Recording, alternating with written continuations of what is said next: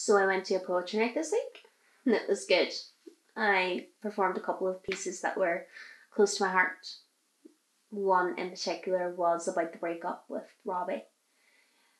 I'd been contemplating going to it for a few weeks, you know, even before we'd split up, to use it as an opportunity to vent and get my thoughts and negative energy out in front of me to a room full of people who may empathise or just listen. But it didn't matter what they thought, I just needed to get it out there. Like the greatest poets in the world could have been sat there in front of me and I could have been shit, but it didn't matter. The poem was a message to him. And I didn't expect him to come. Honestly, um I'd sent him a text earlier in the week and said, Oh, you know, um, I'm gonna be performing this week and it's the one way to truly convey how I felt.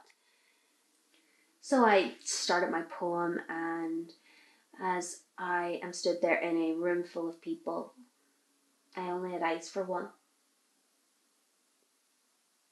And he just stood at the back of the room, flyers in hand.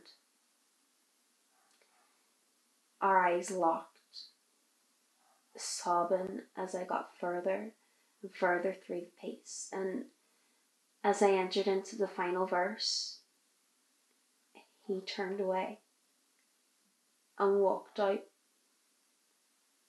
leaving the flowers on the floor behind him.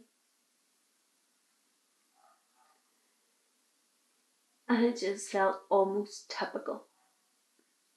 After everything that he put me through, all the years of mental trauma, and he can just walk out before I'm even able to finish. Well, it didn't even matter what he thought. It didn't matter that he didn't hear it. I just needed to get it out there. After months and months of arguing, and he had no idea what was wrong, but two minutes of poetry. And in that moment, he knew. He knew that it was all his fault. How he comes to acceptance with it now is not my problem. Because the fact is that I have.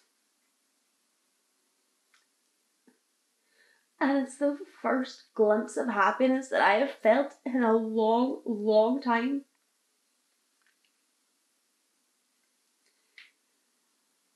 I'll never see him again, and to be fair, I don't need to. Because I feel like that was our closure. And now it's over.